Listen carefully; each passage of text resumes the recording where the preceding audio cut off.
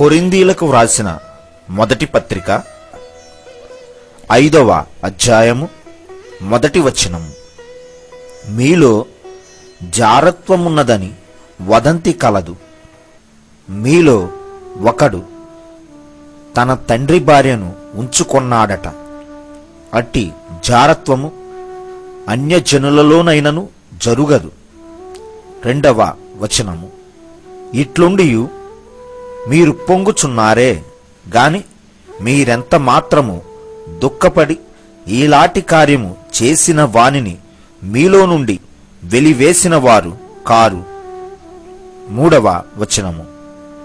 నేను దేహ విషయమై దూరముగా ఉన్నను ఆత్మ విషయమై సమీపముగా ఉండి మీతో కూడా ఉండినట్టుగానే ఇట్టి కార్యము ఇలాగు చేసిన వానిని గూర్చి ఇదివరకే తీర్పు తీర్చియున్నాను. నాలుగవ వచనము మరియు ఐదవ వచనము.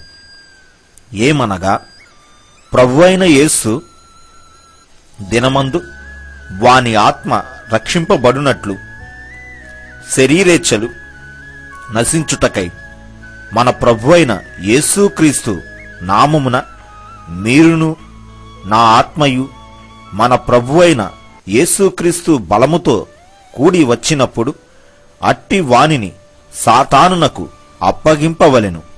ఆరవ వచనము.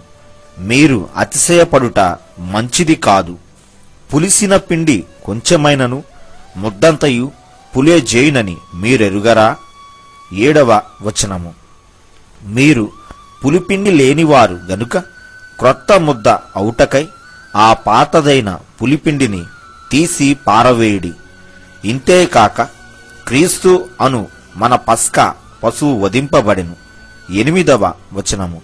గనుక పాతదైన పులిపిండితోనైనను దుర్మార్గతయు దుష్టత్వమునను పులిపిండితోనైనను కాకుండా నిష్కాపఠ్యమును సత్యమునను పులియని రొట్టెతో పండుగ ఆచరింతుము. తొమ్మిదవ వచనము. జారులతో సాంగత్యము చేయవద్దని నా పత్రికలో మీకు వ్రాసి ఉంటిని. పదియవ వచనము. అయితే ఈ లోకపు జారులతో నైనను లోబులతో నైనను దోచుకొను వారితో నైనను విగ్రహారాధికులతో నైనను ఏ మాత్రమును సాంగత్యము చేయవద్దని కాదు.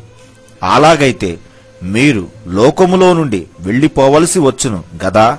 పదకొండవ వచనము.